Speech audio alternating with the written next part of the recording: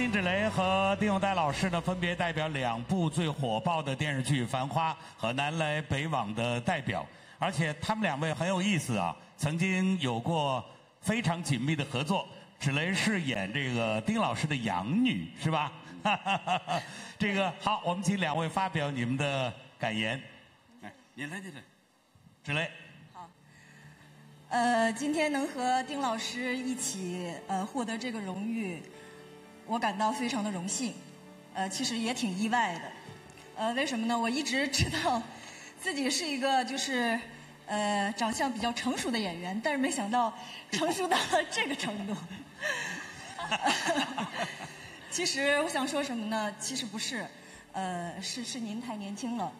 我跟我跟我跟丁老师其实合作，这个是第二部戏。现在我们还正在拍着一部电影。呃，丁老师是一个呃特别敬业认真的演员，然后在现场的时候也是永远充满了创作的激情和充满活力的，呃，让我很敬佩。其实也不只是不只是丁老师，还有我们《繁花》的爷叔呃尤本昌老师，其实他已经九十一岁的高龄了。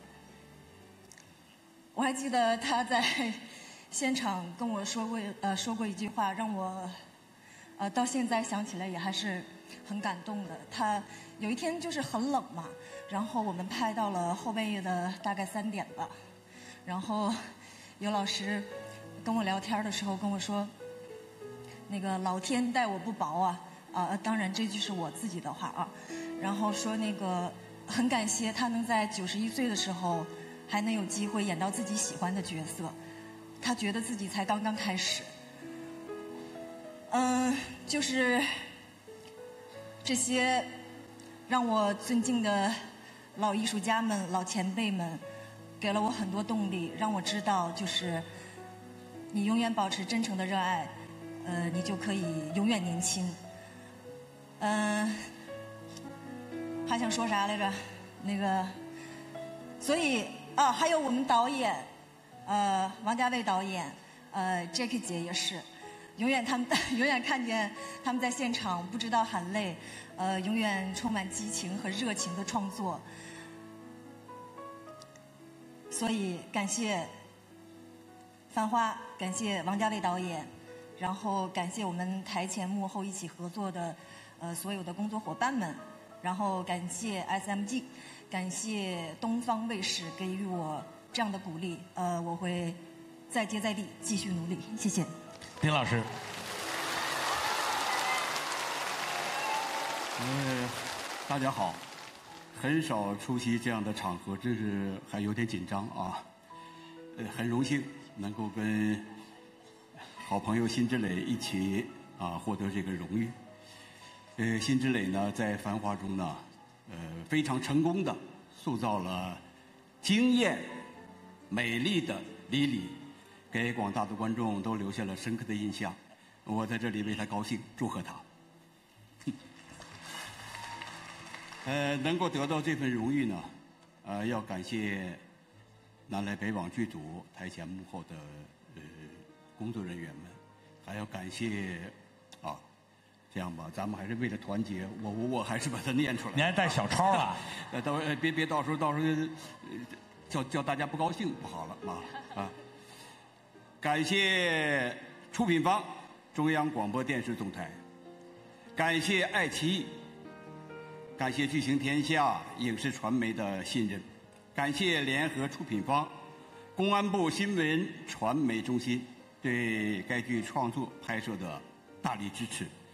呃，还要感谢啊，呃，我们的编剧高满堂老师，呃，以及导演郑晓龙和刘章木先生，呃，在拍摄当中给予我的支持。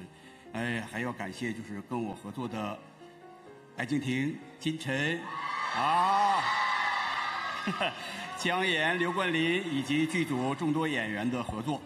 呃，谢谢他们帮助我呈现了马奎这样一个角色。东方卫视呢，上海呢是我的福地。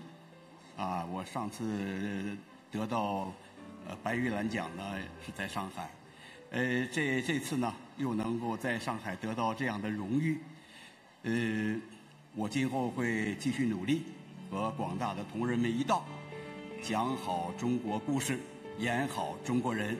呃，感谢东方卫视，感谢品质盛典，感谢我的家人长期以来对我的支持，谢谢大家。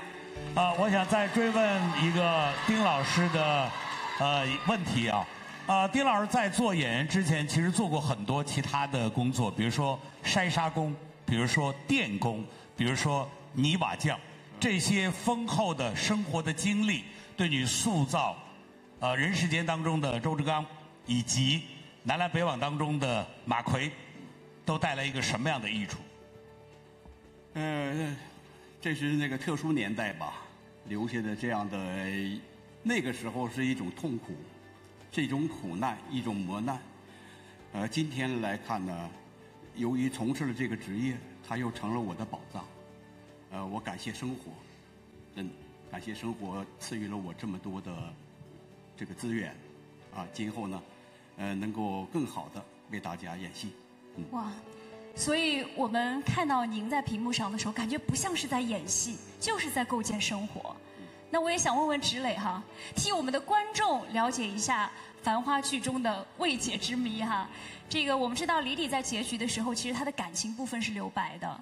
但是作为扮演者辛芷蕾，如果你要选的话，在 X 先生和宝总之间，你最后会选择谁？选宝总还是选 A 先生？宝总，你不要紧张。选你呀。